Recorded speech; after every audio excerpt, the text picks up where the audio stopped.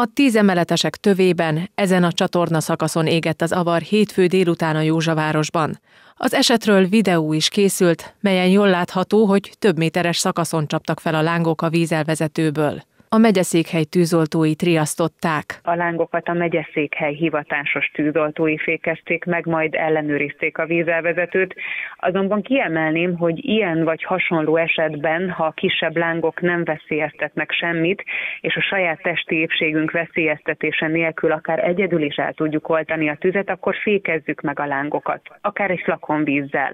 Persze, ha már úgy érzi valaki, hogy problémát jelenthet a kisebb tűz, a lángok eloltása, akkor értesítse a tűzoltókat, hívja a 112-t. A mögöttem található vízelvezető csatornában csaptak fel a lángok hétfőn délután itt a Józsavárosban.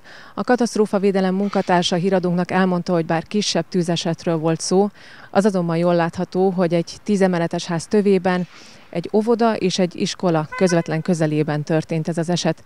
A híradónknak nyilatkozni nem akaró egyik szemtanú elmondta, azt találta furcsának, hogy a több méteres szakaszon különálló lángokat tapasztalt, ezért hívta ki a tűzoltókat. A hétfői esetnél személyi sérülés nem történt. Szakemberek szerint azonban fontos tudni, hogy a szabadtéri tűzesetek túlnyomó része megelőzhető lenne, hiszen ezek 99%-a gondatlanságra vezethető vissza.